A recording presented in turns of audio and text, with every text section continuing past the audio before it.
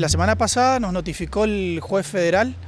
eh, que la causa que él está investigando en relación a, la desaparición de Gisela, fundamentalmente ellos están tras la hipótesis de, trata de personas,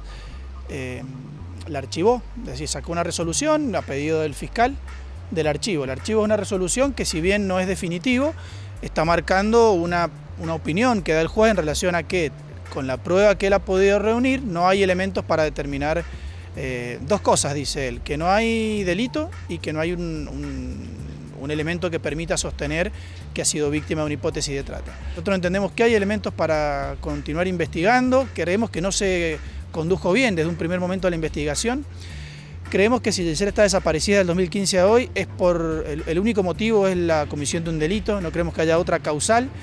Eh, estos son los puntos en los que no coincidimos con el juez federal y es lo que vamos a ir a pedir se revise a la Cámara Federal. Y nos preocupa también de sobremanera que si bien Gisela fue a hacer denuncias a la justicia, a la fiscalía fundamentalmente, y, luego son receptadas por la justicia federal,